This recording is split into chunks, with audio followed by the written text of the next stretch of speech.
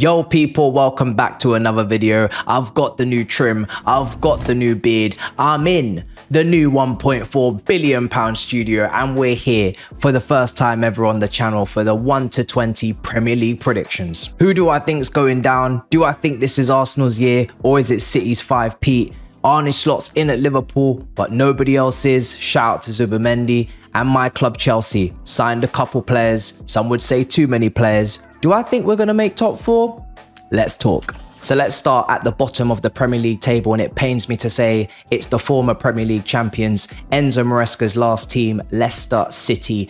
There's a looming points deduction as the Guardian reports, and that could definitely put them in their place. But it's the defence that also concerns me in regards to Faes and Vestergaard, not really trusting them at the top level on their return. Also, Vardy is an extra year older, and they've let Iheanacho go on a free to Sevilla.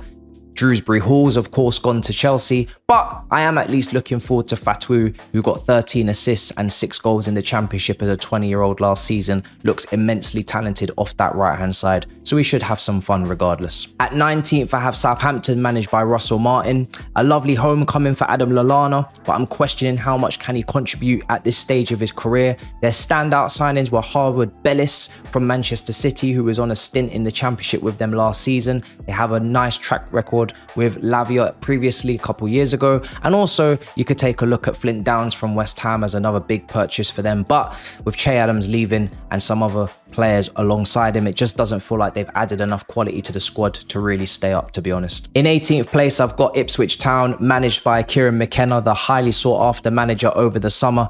Their big main signing, Omari Hutchinson, on a permanent deal from Chelsea after impressing in the Championship last season. They're going to heavily depend upon him for goals and for chance creation off that right hand side. But for me, we saw Burnley and Vincent Kompany punished for those brave performances last season, trying to play out from the back, trying to entertain, so to speak, but do they have the quality? And that's what I question with Ipswich, so I'm putting them in the relegation zone. In 17th, I have Wolves managed by Gary O'Neill. It still feels like George Mendes has a bit of a grip or a clutch on this club. Young players in Gomez and Pedro Lima coming in. But will they get the game time? Will they have the impact on the first 11? Will they be the Fabio Silvas of 2024-25? Who knows? But I'm looking at Tommy Doyle signing from Manchester City. He's at a good age of 22. We know they've got a top academy, so I'm expecting him to look to make an impact. But they did make big sales in Pedro Neto and Kilman, over 100 million recouped and I need to see some more of that money reinvested into this team before I can put them above 17th. Moving on to 16th, I've got Diversity Dyche's Everton, who's absolutely killing it on the quota, bringing the Barclays back. It's lump it, slump it football, but he's not getting much help in regards to recruitment as Everton are potentially still scared after the Premier League gave them plenty of points deductions last season, and you can't blame them. Onana, the space eater, sold to Aston Villa. Not much improvement in the 11. It feels like Shaun Maloney and Zaki's Wigan Athletic almost sleepwalking to relegation, but they just need to keep themselves afloat for one more season before they move into the new stadium by the docks in 25-26. In 15th, I have Iraola's Bournemouth, obviously one of their big signings, Sinisterra from Leeds. Very much looking forward to watching him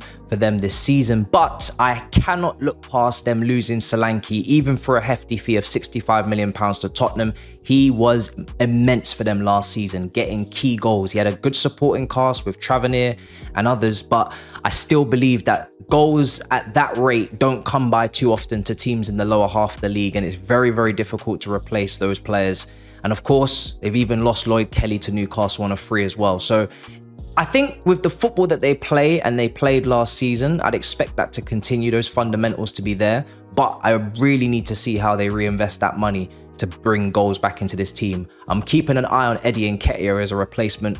I think he could get them 10 to 12 goals after his deal to Marseille fell through. In 14th, I've got Brentford, led by Thomas Frank, a very astute manager. Slightly surprised he didn't get an opportunity up the league at a team like a West Ham, but he remains. And also, Ivan Toney remains as of now. Now, from a player quality standpoint, that helps Brentford massively. We know what Ivan Toney brings. We saw it at the Euros for England, even in his cameos and obviously his incredible penalty taking. But from a financial standpoint, they could still do with a sale, considering he's only got a year left. They have Wissa, they have Mbeumo, they won't have their new 33 million euro striker Thiago until the end of 2024. But I'm very, very interested to see how Fabio Carvalho does after signing from Liverpool. I remember how talented he was at Fulham, along with the likes of Sessegnon. So I think he could be someone to watch this season and he might surprise a few people. In 13th, I've got Brighton managed by the youngest ever Premier League manager in history, Fabian Höfler, and he's brought in Whiffler. I hope I haven't butchered any of the names for the midfielder.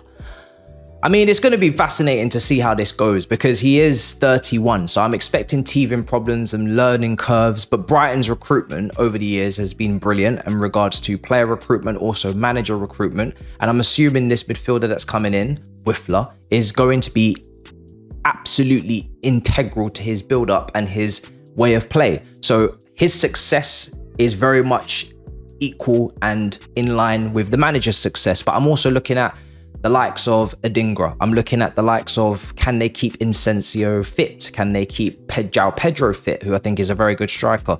Um, what will happen with Gilmour? Will he go to Napoli? How will Lewis Dunk and Webster play at centre back? There's been a lot of errors between them for internationals and also club and when I've been watching Webster in the last few years. So it's going to be very interesting to just see if everything settles down and how quickly it does. I do expect a bit of a drop off outside of the top 10, but I'm sure they're still going to play some really, really good football. And now in 12th, I've got Nuno's Nottingham Forest, who've had three significant in and three out.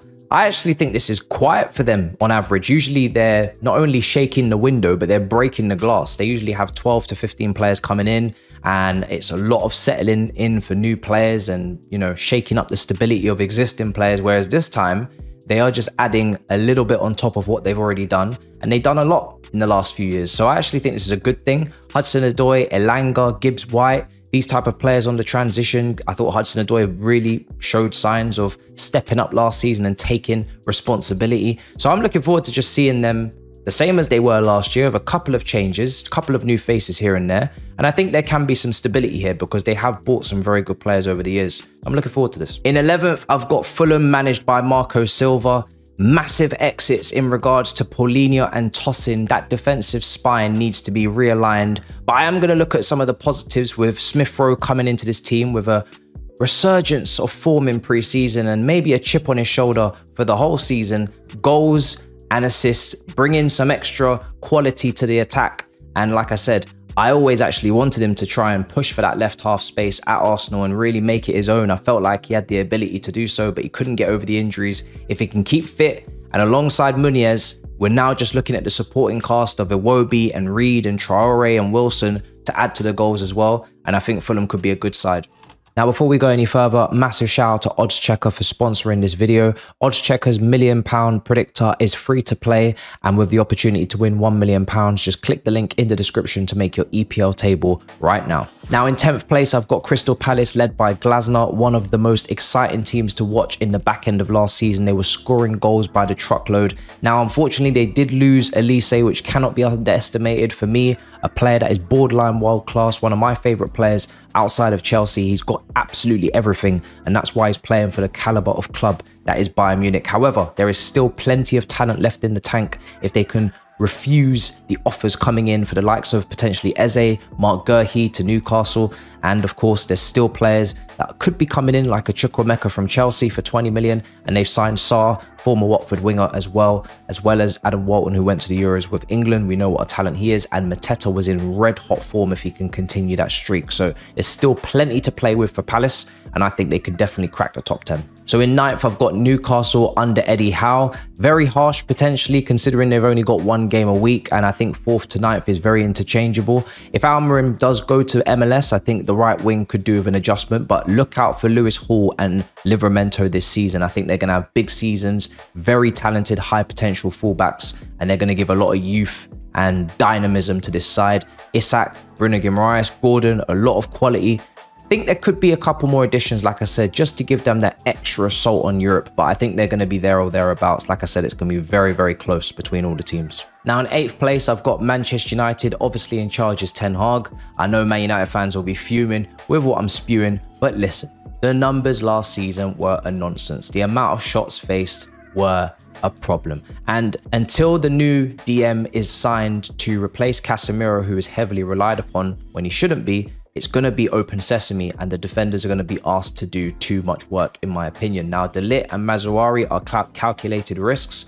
I think if they play to the level that they're capable of, they're going to be instant upgrades on those areas. Yoro being injured is unfortunate, but I'm looking at the attack as well and Rashford, Sancho, Zirkzee, will these guys get enough goals to help Højlund and contribute? Antony is another one. There's still a lot of question marks around Manchester United despite the new signings and the Ten Hag situation is still a massive question mark, so I've got them eighth. In seventh place, I've got Aston Villa and Unai Emery, who's very well versed in handling league campaigns and European campaigns together. So Villa fans have every right to feel like I'm being too harsh with Barkley coming in, Ian Maatsen coming in, Onana coming in to replace Douglas Luiz. Obviously, Diaby left as well. But that new format, Champions League, is going to be high quality, difficult games alongside the league campaign. It's going to be interesting to see how they handle it and deal with it, but they definitely have the depth, that's for sure. And they've got the quality. So like I said, ninth to fourth is really interchangeable, and I think it's going to be very close. There's not going to be many points to split these teams. In sixth place, I've got Tottenham under Big Ange. I slightly regret this prediction already. I feel like I've been too nice to Tottenham today, but I've already said it, so here we are. Now, the wingers I've got massive concerns over in terms of Timo Werner. Brennan Johnson wasn't worth the fee paid. Kulusevski needs to rediscover his form from the first six months. Solomon is really of no use, and like I said, Son is not a winger anymore. So it's down to Solanke to put the ball in the back of the net and prove the 65 million's worth. This team is heavily reliant on Maddison staying fit, Bissouma and Bentancur rediscovering their form. Like I said, I really like the back line. It's just really down to Ange to be a little bit maybe more tactically flexible in terms of that high line. But yeah, I've got concerns over this team. I've probably put them too high for my own personal preference, but it's too late now to back out. now in fifth place, I'm drinking that West Ham Kool-Aid because They've signed some very exciting players. Todibo from Nice, highly regarded defender, lots of clubs interested. The only question mark is maybe Lopetegui for many after his Wolves stint, but you look at Wan-Bissaka, you look at Kilman coming in, you look at Summerville, Kudus, Paqueta, Bowen, Füllkrug, really good Euros coming off the bench many times making an impact. These are players that would start for top six clubs, so I feel obligated to put them in the top six, especially when they have no Europe and they're going to be playing once a week. So they feel like they're inspired by Aston Villa and Newcastle, who have recently broken into that top five, top four even. Um, and I feel like West Ham are right there waiting to pounce. Definitely a dark horse. If anything, just a horse. In fourth position, we've got Chelsea. Significant additions in the summer, looking at Tosin, Dewsbury Hall, and Pedro Neto so far. This is kind of based upon multiple factors and facets also, Chelsea have a lot of players, some quality players, would you believe it, in this squad after spending a billy. And Pedro Neto, Nkunku, Palmer, Enzo, Caicedo, and Lavia all fall into this group. Players that have the ability to put Chelsea in fourth. Gusto have the ability to put Chelsea in the Champions League if Maresca can make it click, if Maresca can get them playing. But, but they also have the capacity to put themselves in seventh, put themselves in sixth, if they have too much of a overload in terms of squad numbers, if there are injuries and they can't keep people fit, if they don't do the business in the back end of the market that makes sense. So Chelsea, as I said at the start, ninth to fourth is very interchangeable. I have to have optimism at the start of the season. You know me, with all the criticism I have for my club, I still have to put them as high as I possibly can imagine them, and that is in fourth. Now, in third place, I've got Arne Slot's Liverpool. Listen, I know they've not done any transfer business, the only team in Europe to not do so after getting rejected by Zubimendi, but it pains me to say it, the foundations are still there for Liverpool. Now, don't get me wrong, they're not going to be in a title race and they're not going to go anywhere fast if they don't show some ambition in the market to fill up the holes in certain positions. But they do have enough goal getters in the team. They do have enough goal scorers to win them games in terms of Salah, in terms of Jota, if they can keep him fit.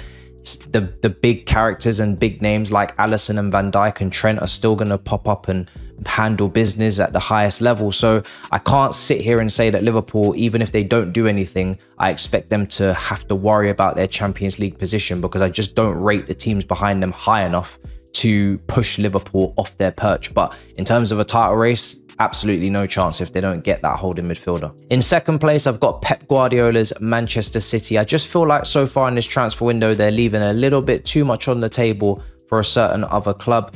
Savinho, the only significant incoming, Alvarez, the only significant outgoing, but there is a couple of positions that they're playing with, in my opinion, in regards to Rodri. If he was to be burnt out or suspended, injured, like we saw last season, things do collapse. Haaland is known for a knock. At the moment, there is no striker backup, and there's a heavy reliance on the likes of Grealish and Doku to really step up this season and start providing output consistently. So it, it's an interesting situation. You never rule off, rule out Pep. You never rule out Manchester City. a, a drop off for them is nothing mad. It's something like probably 80, 85 points, which is still a great season for almost every club in this league apart from them. But it might just be enough to leave, unfortunately, the gap for another club to win this league. And in first place, I say this with regret. I say this with disdain. But for me, I have a gut feeling and I'm going to give it. It's Arsenal to win the Premier League. I just. I just feel like, regardless of the lack of maybe satisfaction on your side for the window, the striker situation with Nketiah, maybe the left midfield position, I think will still be addressed. Saka for the backup. Like I said, Manchester City have their own issues and things that they would probably like to improve on. And the average age of your squad is in a better position right now for an up upward trajectory. We look at De Bruyne, could there be a, a little dip? When you look at your players, they should really be only on the up. And I'm looking at the goals last season the most goals scored, the least goals conceded, the fact that you've added Calafiori and now set pieces is going to probably be even more of a threat, which is, I don't even understand how that's possible.